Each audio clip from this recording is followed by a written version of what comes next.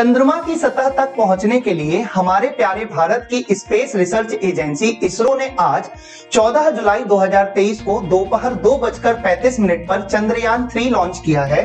Chandrayaan three को आंध्र प्रदेश के श्रीहरिकोटा के सतीश धवन अंतरिक्ष केंद्र से एल थ्री रॉकेट के द्वारा लॉन्च किया गया, जिसकी चंद्रमा के दक्षिणी ध्रुव में सॉफ्ट लैंडिंग 23 या 24 अगस्त के आसपास होगी।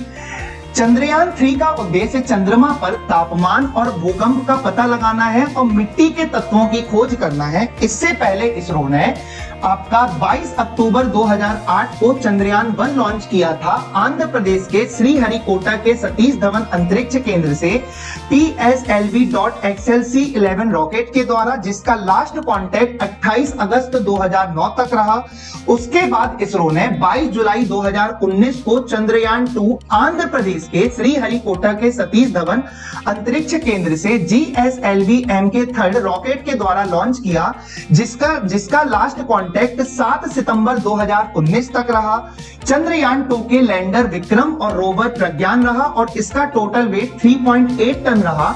और चंद्रयान टू की ही भांति चंद्रयान थ्री के लैंडर और रोवर का नाम विक्रम और प्रज्ञान है। इसी तरीके के इंपॉर्टेंट फैक्ट के लिए अभी कॉन्सेप्ट क्लासेस जबलपुर को फॉलो और सब्सक्राइब करें।